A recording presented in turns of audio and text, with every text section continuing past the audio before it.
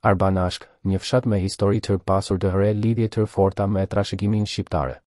Arbanashk, një fshat i vogël dhe karakteristik në komunën e Prokuplës, ka një histori të pasur dhe një lidhje të ngushtë me Shqipërinë. Në periudhën e kaluar, Arbanashk ka qenë pjesë e Shqipërisë duke pasuar përpjekje dhe ngjarje të ndryshme historike. Ky vendbanim, i njohur për vjetërsinë dhe karakteristikat e tij të veçanta, ka përjetuar transformime demografike në të kaluarën. Sipas regjistrimit të popullsisë së vitit dy mijë e dy, Arbanashk shënon vetëm pesëdhjetë e një banorë, një shifër e ulët krahasuar me vitin një mijë e nëntëqind e nëntëdhjetë e një kur numri ishte njëqind e pesë.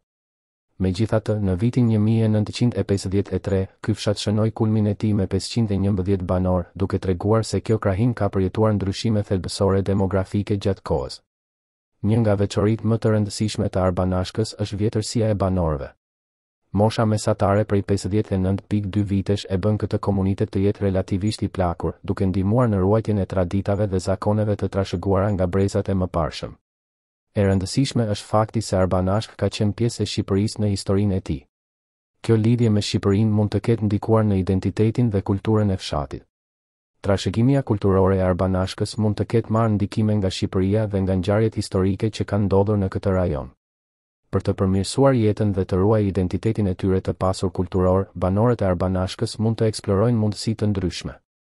Investimet në infrastrukturë, projekte kulturore dhe përkrahja e iniciativave të komunitetit mund të ndihmojnë në forcimin e lidhjes së kësaj zone me trashëgiminë dhe identitetin e saj të shqiptarëve. Në një kohë kur ruajtja e trashëgimisë dhe e identitetit kulturore bëhen gjithnjë e më të rëndësishme, Arbanashk ka mundësinë të bëhet një model i suksesshëm i përmirësimit dhe zhvillimit të komunitetit duke i mbajtur të gjallë rrënjët dhe traditat e tij të pasura.